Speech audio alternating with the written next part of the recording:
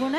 Uh, vești bune în weekend. E, sunt două zile de distracție, de activități, activități ludice. Ar fi bine să um, avem și îndemânări artizanate, diverse treburi în casă, diverse activități pe care le facem trebuie să fie de două feluri, și recreative, dar și educative. Chef de plimbare în aceste două zile, sper să ne ajute și vremea.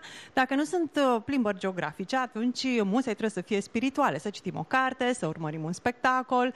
Ideea este ca după aceste două zile să ne îmbogățim sufletul, dar și mintea. Mai multe însă după foarte scurtă pauză pentru fiecare zi. Acum însă Camelia are lucruri foarte, foarte interesante de spus. Fiți atenți! Mobilitate mentală uh, pentru mâine, dar și corporală, așa că trebuie să fim activi. Unii vor iubi sportul mâine, plimbările de asemenea și trebuie să învățăm ceva nou, să învățăm să facem ceva sau să acumulăm diverse cunoștințe.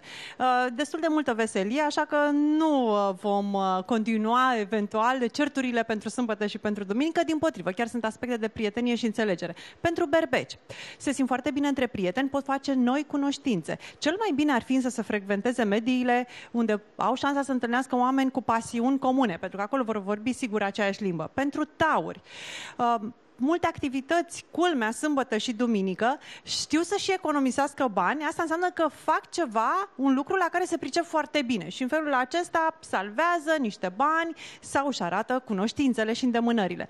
Pentru gemeni este mm, un weekend în care dispozițiile lor sunt foarte schimbătoare. Când vesel, când triști, poate și vremea influențează, dar așa se întâmplă când luna le traversează zodia. Trebuie să știe că s-ar putea să fie foarte subiectiv atunci când dorești ceva, ceva sau că refuză ceva, să fie mai blânzi cu ei și să așteaptă ca, aștepte ca aceste fluctuații să treacă. Racilor le-ar prinde foarte bine sâmbătă și duminică să fugă într-un loc unde au parte de liniște și sufletească, dar și ambientală.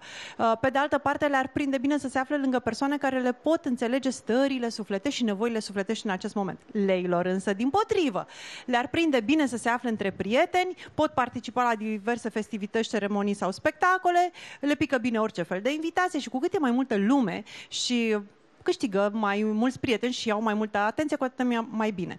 Pentru fecioare, se anunță un final de săptămână în care fecioarele au tot felul de lucruri de spus și tot felul de opinii de susținut, atât în familie cât și în afara familiei. Tocmai de aceea e posibil ca sâmbătă sau duminică, mai ales uh, prima parte a zilei de duminică, să ia niște decizii importante privind viitorul lor. Pentru balanțe, au chef de ducă, doresc să facă voiaje sau să întorc după un voiaj foarte lung. Cert este că mintea le este și sufletul încă se află la drum, poate la persoane foarte dragi, aspectele sunt destul de bune, se încă merge foarte bine comunicarea și ei se gândesc la niște soluții pentru probleme ce vizează aspecte juridice. Pentru săgetători, foarte... Scorpion. Pentru scorpion. pentru scorpion este un final final de săptămână în care contează partenerul de viață și ideile pe care le are și planurile și opiniile pe care le are. Uh, e bine pentru scorpioni acum pentru că sunt într-o fază în care ascultă și comentariile critice mai târziu, așa peste câteva luni. În tot cazul sunt foarte interesat să știe ce gânduri are omul de lângă ei. Pentru săgetător, fac foarte bună impresie, de aceea ar fi bine să nu stea încuiați în casă, să se întâlnească cu prieteni și poate cu prietenii partenerului de viață. În tot cazul, au foarte multe cunoștințe, multă experiență și abia abia așteaptă să arate și altora cât de pricepuți și de cunoscători sunt. Capricornii, în schimb, sunt foarte îndemânatici uh, și foarte gospodari. Sâmbătă și duminică fac servicii chiar și altora, așa că vor răspunde prezent dacă cineva le cere ajutorul și vor și învăța pe alții cum să-și rezolve problemele pentru că ei știu. În schimb, vărsătorii au nevoie de foarte multă libertate, indiferent ce aleg să facă sâmbătă și duminică. Nimeni nu-i poate presa să facă din obligație ceva, dacă vor bine, dacă nu, nu.